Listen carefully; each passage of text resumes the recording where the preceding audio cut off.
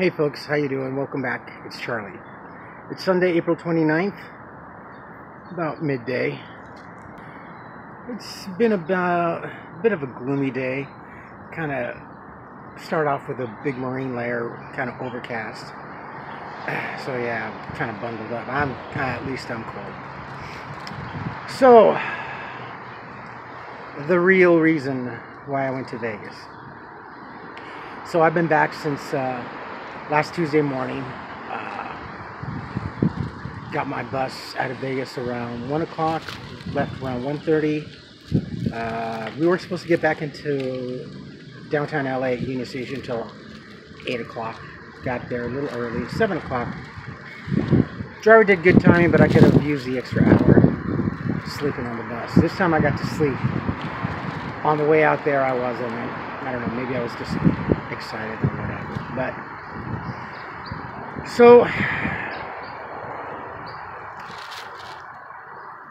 what happened with me being so so sick these last several times, and one time I was out for like a day, day and a half.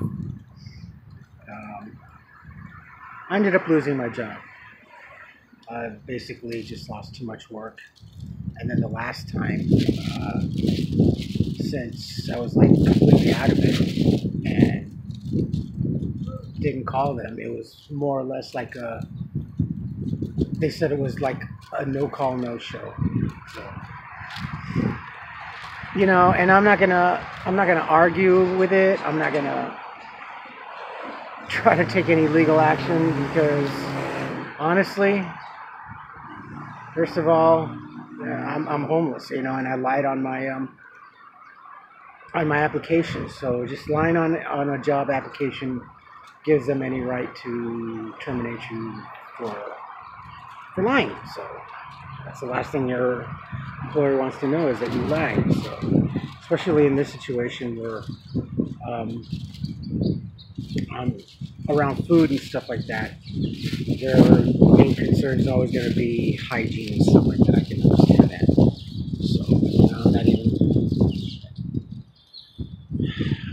I'm not. I'm not. Angry about it. You know, I've lasted this long. Shoot, I've been working there since early early December, since the first week of December, up until a week ago. So really kind of amazed, and I'm not too worried about it because I'll, I'll I'll be able to get another job here soon. So it's not a big issue. So you know, and a friend of mine says, you know, well.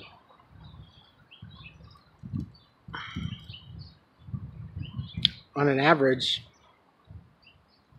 maybe four hours of sleep, maybe less, every day especially with working and getting back so late and what have you. So yeah, I'm not giving myself, I'm not giving my body the rest that it needs. And yeah, it would be a little bit easier if I had a home. Maybe I wouldn't be so exposed to the elements. I don't know.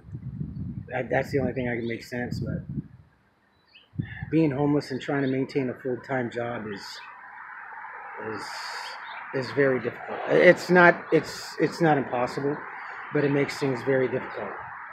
And working in fine dining, working split shifts for lunch and then having to come back for dinner and not having a place to come back to to rest, to get some proper rest, eat a good meal, and then go back to work it just doesn't work.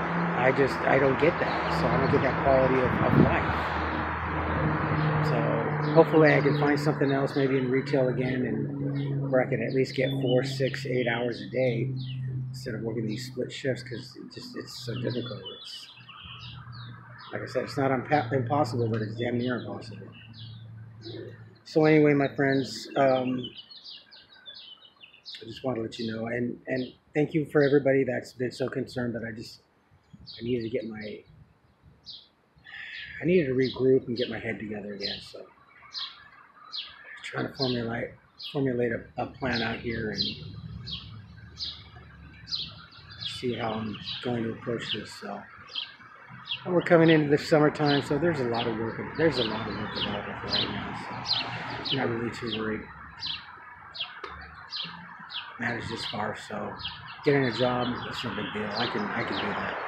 Now that I know that I can get another job, so that I got a job. So. Anyway, thank you guys for all your concerns. Um, like I said, I just want to touch bases with you and let you guys know what's up. I will post this video up as soon as I can. And in the meantime, take care of yourselves, take care of each other, but always take care of yourselves first. Love one another, trust one another, help each other, and be kind to each other.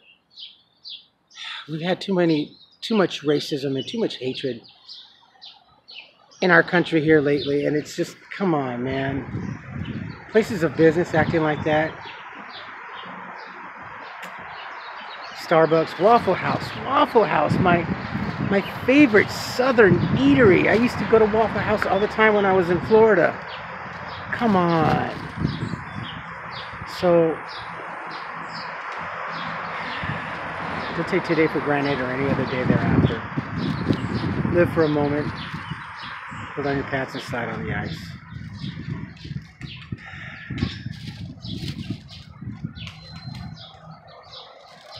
And um, yeah, just keep me in your prayers. Keep me in your thoughts.